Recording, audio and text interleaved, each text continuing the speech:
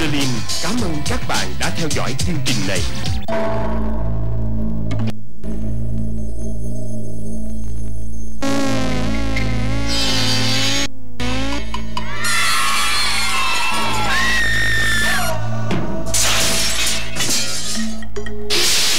tận hưởng một trong những điều thú vị nhất từ